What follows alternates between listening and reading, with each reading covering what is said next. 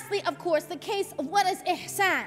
The question is, what should be the way and the character? What should be the internal qualities of my soul? Because these things, the mind and the body and the soul, are actually going to determine not only my akhlaq, because akhlaq is, should be an extension of our identity.